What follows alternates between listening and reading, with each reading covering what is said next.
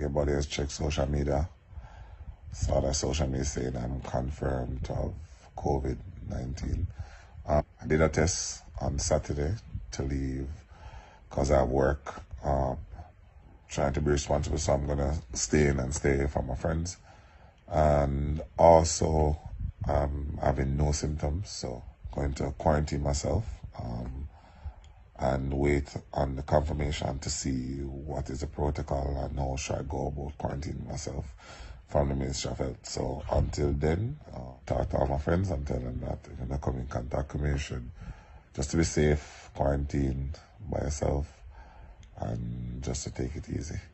And just to make people know, be safe out there. All right? Cool.